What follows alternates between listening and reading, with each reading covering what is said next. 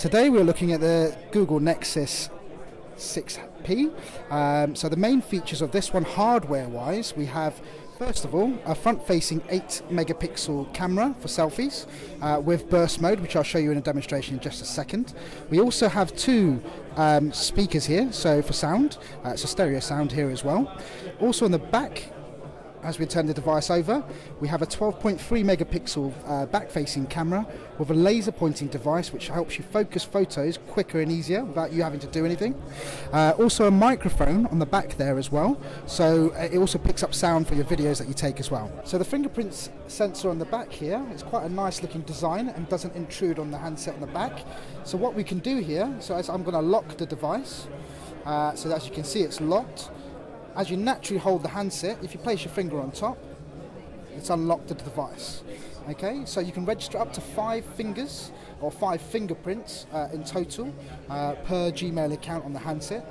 Uh, which makes it even more secure to make purchases or do anything that you like or, or use you know go into apps or certain parts of your phone. So this is in still mode at the moment. So now with Android M you swipe across to go to video uh, and then what you'll see is a little speedometer kind of icon at the top there with a little bit of a gauge. Yep. So if I tap on that, that will now take 120 frames per second video. Okay. If I tap on that again, that will now take 240 frames per second video. Just to give you a demo, I start recording, and if I quite fast move my hand on the there, press stop, tap on the playback video, and that will now play in real time as well as where I slow mode it. And as you can see, that's 240 frames per second.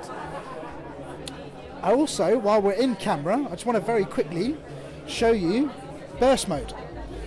So we're going to do this in, uh, so actually I'll do it with my hand in front as well. So if you're in the camera mode, just hold the capture button. And as you can see at the bottom there, it's taking multiple photos.